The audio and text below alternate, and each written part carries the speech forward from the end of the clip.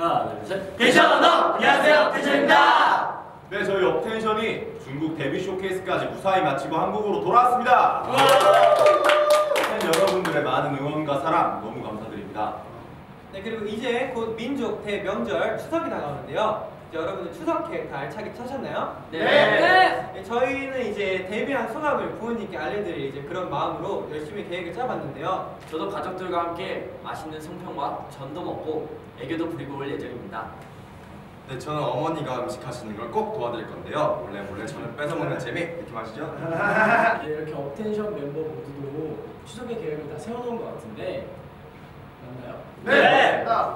네, 여러분들도 오랜만에 추석에 친지분들과 모여서 담소도 나누시고 업텐션도 좋아하는 송편과 전, 맛있는 음식 드시면서 즐거운 저녁 보내셨으면 좋겠습니다.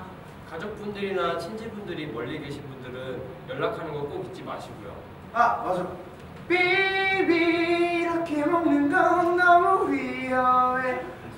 맛있다고 빨리 먹다가 체하시면 절대 안 되고 건강이 제일 중요합니다 추석 때도 어김없이 저희 업텐션은 항상 여러분을 찾아가니까 TV로 저희 본방사수 해주시고 저희 위험해 타이틀곡도 많이 사랑해주세요 모두 즐거운 한가위 되세요. 네, 지금까지 tension up! 업텐션이었습니다.